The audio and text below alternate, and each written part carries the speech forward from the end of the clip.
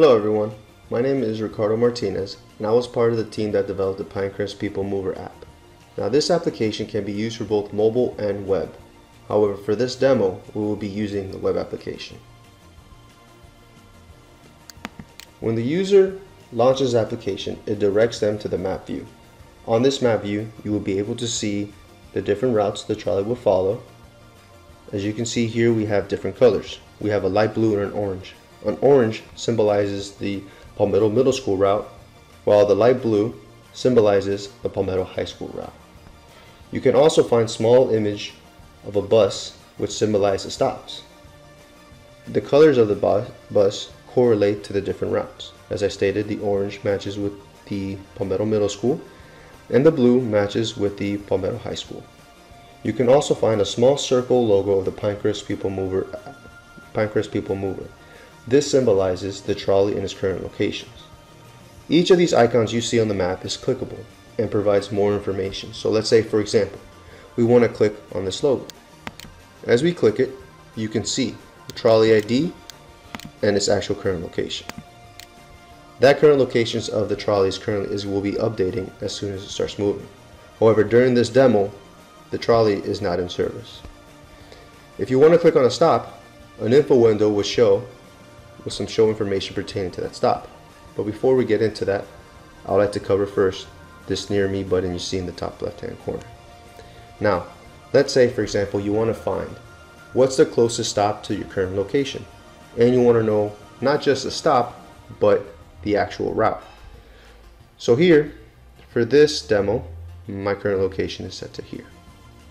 So when I go ahead and click on near me let's say for example I want to find the Palmetto Middle North route. So I click on it.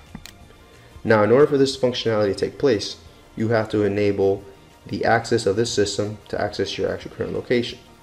So here we would press allow. And as you can see, the red icon shows. And if you click on it, it will show you, hey, this is the closest location.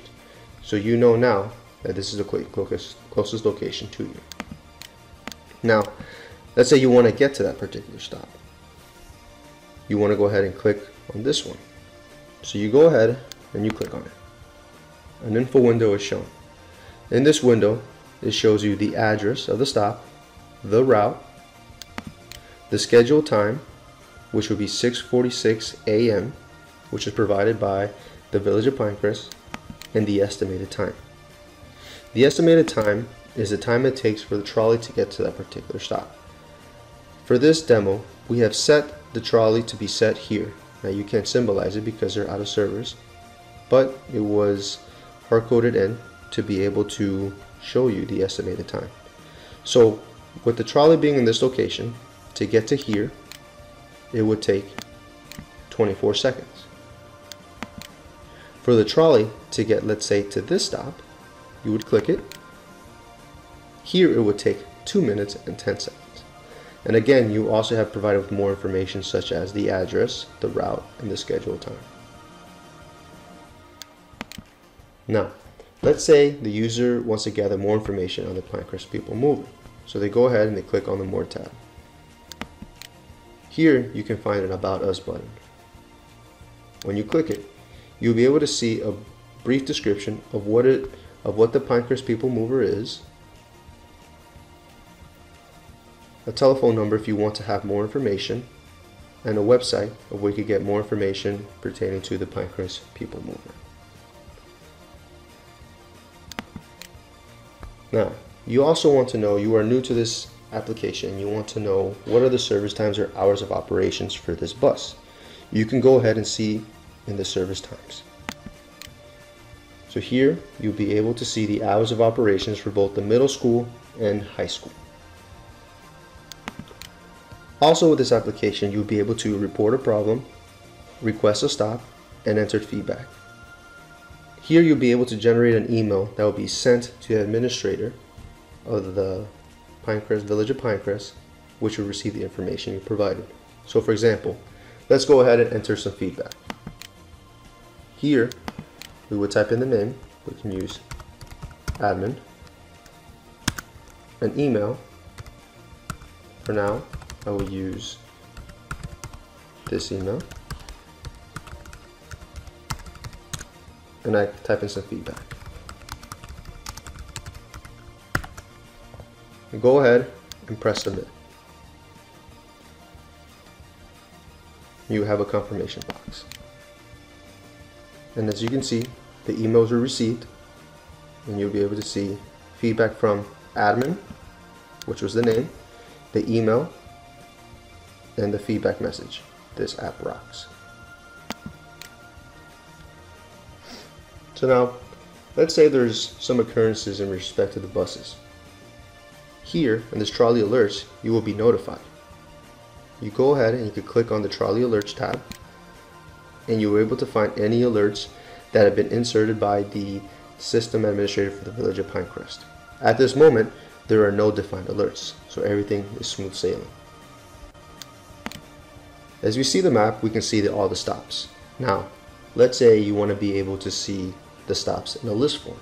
Well, you can do just that. All you have to do is go ahead and click on the Routes tab. On this Routes tab, you have the options of all the different routes.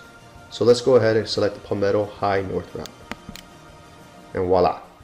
You now see all the stops for this route. Now, if you go ahead and click on it, you'll be able to see the stop name, which is the address, the scheduled time, which is provided by the Village of Pinecrest, and the estimated time from the trolley to this current location. Up up top, you can save it as a favorite. However, in order to enable this functionality, you would have to log in. So far, all the functionalities explains a user would not have to be signed in. However, for this one, you would. So let's go ahead and go through the registration process. So you can either choose this or go back and go back to the more button. But for simplicity, we could go ahead and click it. And it takes you back to this view. So we'll go ahead and we'll register. For this email, we can type in the email hello at gmail.com. We'll make it a little bit more interesting. And the password would be world. The confirmation would have to match the password listed above. So you go ahead and press register. The registration has been successful. So not only has your information been saved, but you've actually been logged into the system. So now, if you go back to the routes, and you want to go ahead and select that stop again, now you will see that the you have to sign in functionality is no longer there. So let's go ahead and let's save this stop as a favorite. You have been confirmed that your favorite has been inserted into your list. So to verify this, we'll go ahead and select this favorites tab. And there it is. Let's say we want to add another stop. We have to go back, select a route. We'll go ahead and select the middle, middle south route. And save this as a favorite. Now when you go ahead and select it, you will now see the two stops. In these two stops, you will be provided with the address, the route, the stop ID, and the estimated time. This alert time shows you how long you will take for the email notification to receive. In this application, if you set an alert time for let's say five minutes, this means that whenever the trolley is within five minutes from reaching its final destination to reaching to the stop, it will send an email notification to whichever you provide, whichever you registered with. At this moment, there is no alert set, but we could go ahead and change that, and I'll show you how. So we'll go ahead and we'll click it. A window opens. You have an alert, add an alert time. You can also remove the stop or deactivate the alert. But just to let you clarify, you can deactivate alert only when there's a time shown. So let's go ahead and add an alert. Here we have an options. We can set how long, but we'll just go ahead, select five minutes. You select the done button and the alarm has been enabled. And here you can see now the alert time says 5, which means 5 minutes. Now, to show the delete functionality, let's go ahead and say we don't want to see this route anymore. We'll go ahead, click it, select the delete button, and now it is removed. You have to confirm it, and now it is removed. So another another uh, functionality you may have is let's say you want to deactivate this alert time. You're tired of receiving emails. So let's go ahead. Let's click it. We could deactivate alert. It would ask to confirm it. You press yes. As you can see, the alarm has been deactivated.